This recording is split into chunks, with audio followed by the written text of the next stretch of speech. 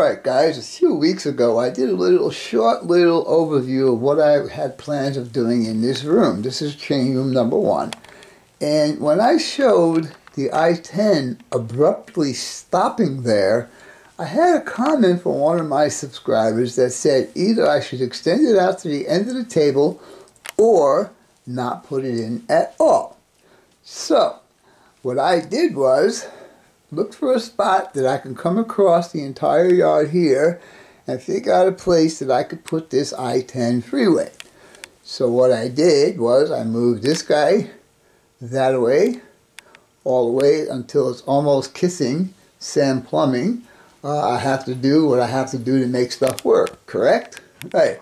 So now I need to change the track plan here because this turnout's going to have to come a little further back to make that turn. That's a sharp turn right there.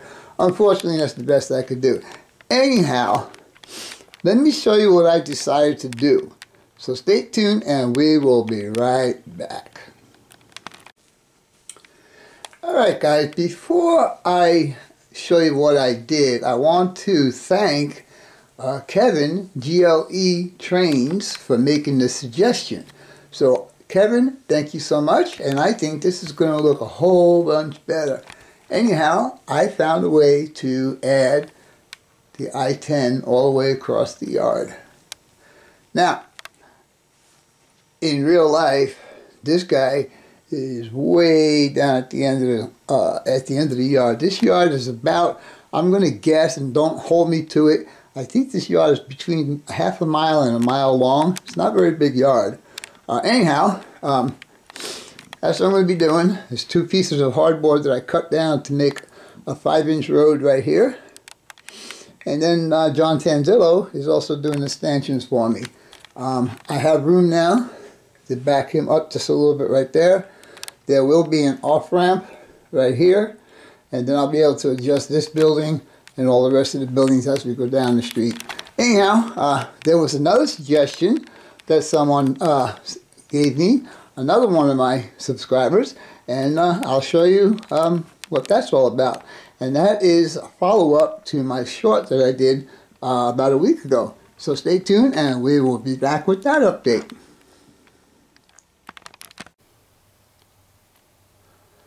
Alright guys, here we are back out of my chain room and I have a suggestion from one of my subscribers. Uh, subscriber is PTI Train Rouge uh, his name is Philippe. Uh, he told me that I really shouldn't have this mountain right here. And I'm looking at it, and if I look at it from that side, it is quite big. So I am going to go ahead and take that down. I'm going to take this whole thing outside like I did before, and I'm going to see what I can do to take this down here. Also, we did a little bit of work out here, as you can see. So we're uh, getting ready to do some plaster work now. Anyhow, with all that being said, stay tuned and we will be back with more on the scenery.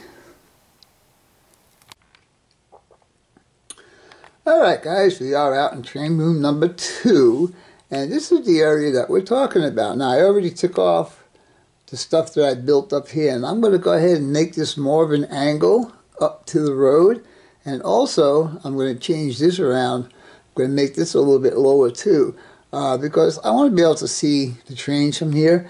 And also, I continued this. I had mentioned in one of my other videos that I needed to uh, move the fascia out. So Dave Schenkel and myself, we did that. And I went ahead and added the beginning of my uh, substructure for my scenery. And it's going to continue around there. And finally, connect up into that over there. And here in the center, there'll be a mountain right here. And we'll connect to that guy right there. And uh, we'll be all looking good. Anyhow, I'm going to go ahead and continue with this guy. And also do a little bit more trimming on there. And remove all of that. Anyhow, stay tuned and we will be back in a little bit. Alright guys, as you can see I did slant that up to the road a bit more so it's more of a angle uh, and uh, there'll be a bunch of trees there eventually. And I also finished all my basket weaving all around here. And so the next step's going to be open that bag of plaster cloth up and start doing some plaster work.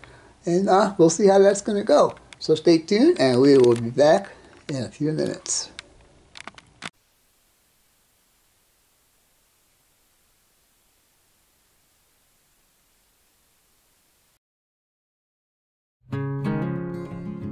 Mm-hmm.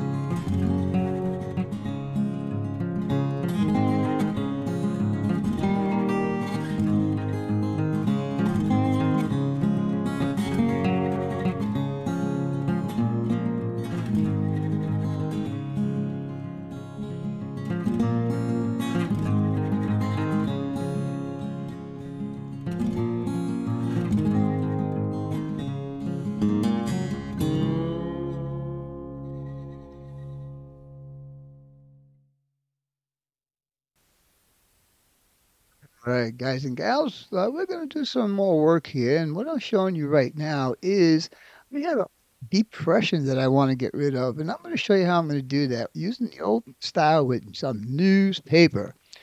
And what we're going to do is we're going to wet that newspaper, we're going to crunch it up, and we're going to stick it in that spot right there. And we're going to do the same thing on the next piece of paper and make it a little bit smaller this time.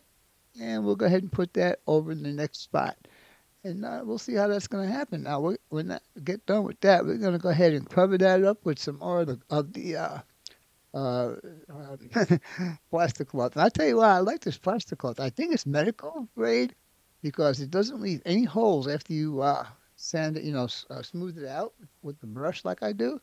But anyhow, yeah, let's see if this keeps on going here, and we'll see how this all sounds and everything like that.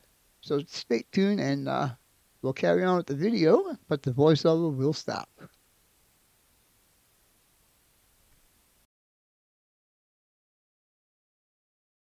This Vinny Vid production brought to you by Yankee Dabbler. For all your model railroad needs, check out Yankee Dabbler. Don't forget, 7% discount with BNSF 6951. And by Highways and Byways, awesome street graphics for your roads and streets on your model railroad layout. If you guys are looking for sophisticated model railroad electronics, Logic Rail Technology has what you need. For a 5% discount on certain items, use code BNSF6951. Alright guys, so this is what I have accomplished today. And I got all of my, well this is just a rag here, but it looked pretty good for covering, huh? Alright, so I got all of my plastering done, all the way around all the way down to there. And it's still wet. I can feel it. But uh, anyhow the next step is going to be this guy in here. And once this guy is done the scenery on this deck will be 90% complete and what I mean by 90% complete is this area over here needs to get covered up in plastic cloth also alright so with all that being said I hope you guys and gals enjoyed this video and as always, your questions, comments, input, subs, shares, and likes always welcome. For now, that's all, folks. BNSF 6951 and Cousin Vinny out.